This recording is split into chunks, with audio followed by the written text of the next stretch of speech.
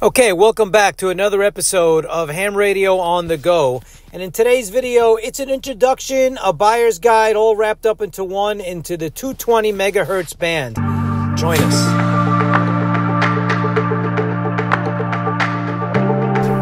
Okay, welcome back to the channel. Thanks for watching, everyone. Let's get right to the video. 220 megahertz, 222 megahertz, also known as the 1.25 meters, is an underutilized par, uh, portion of the VHF spectrum. Um, a lot of people uh, gravitate to 2 meters or 440 when they get licensed. I'm a bit of an odd fellow. I got an Alinco DJ280 when I first got licensed and got onto the 220 megahertz band uh, FM portion. And I met a lot of cool uh, friends on the 220 uh, band on a local repeater. So I've always been partial to the 220 megahertz band. And uh, so I decided to do a little bit of a review, an introductory guide, and some of the radios that are available uh, for the 220 megahertz uh, band. Uh, all of these radios are FM analog. Um, that's uh, usually the flavors they come in. Most of these radios, if not all, are coming out of China. Uh, so, the, you know, uh, for many years, Yaesu, ICOM, and uh, Kenwood uh, had uh, radios for the 220 megahertz band, especially in the 90s, but that sort of fizzled away in the early 2000s, and there was a little bit of a gap there, a decline in activity. but with the advent of Chinese radios flooding the market, a lot of them had 220 uh, tri-band, dual band, or single band. So let's get to take a look at some of them.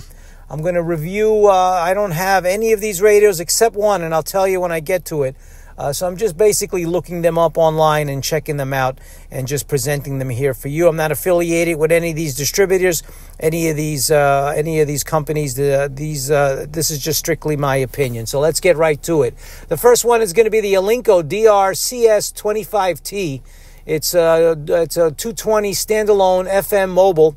200 channels. It operates at 50 watts, 20 watts, and 10 watt uh, output. So you have three selections LCD screen, DTMF, and it comes in at $259.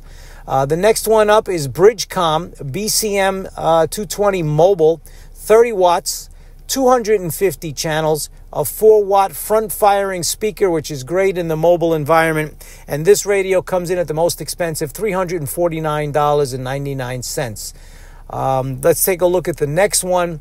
These are uh, are more inexpensive uh, Chinese radios uh, that are flooding the market. This one is a Radioddity QB25 quad band FM mini mobile, 25 watts. It covers two meters, 220, 350 megahertz, and 400 to 480. So it's a tri band. I don't know really what that 350 to 390 megahertz. I don't know what country that's uh, that's a good allocation. If you know, comment below. The next one up is a TYT TH9000D. I have this radio, had it for many years. Great radio, strictly 1.25 FM, 45 watts, 200 uh, channels, and it comes in at $139. And like I said, I have this one. I've had it for many years. I've made a lot of simplex contacts with it, a lot of repeater contacts with it. It's a very decent radio. For, uh, my opinion, I owned it and I purchased it with my own funds.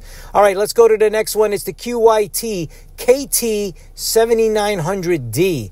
Very similar to the Radioddity. If not, it's uh, it could be an identical clone, just rebadged as a QYT.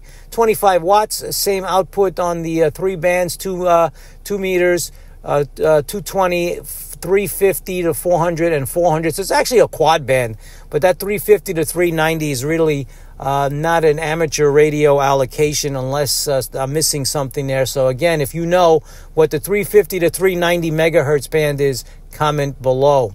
The next one is an HT, the only uh, the uh, the first HT in the review.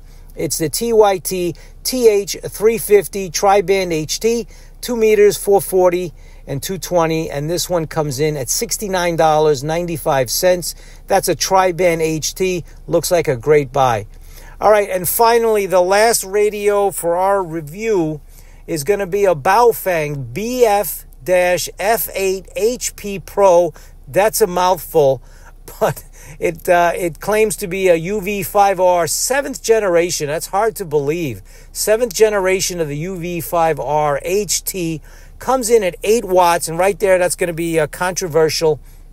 A lot of these radios that claim to be 8 watts and above, uh, if you put them to a power meter, they're more around 5 to 6 watts. Uh, but keep it in mind, you're going to get at least 5 watts, maybe 6 out of it. Uh, 2 meters, 440, and uh, 220 megahertz. This one is IP54 rated. Uh, so it's got uh, some waterproof uh, rating there. A thousand channels of memory. Also has GPS and has an aviation band, which uh, if you follow this channel, you know I enjoy listening to aviation band. Uh, also has uh, NOAA, has the NOAA channels, and has a USB C charge.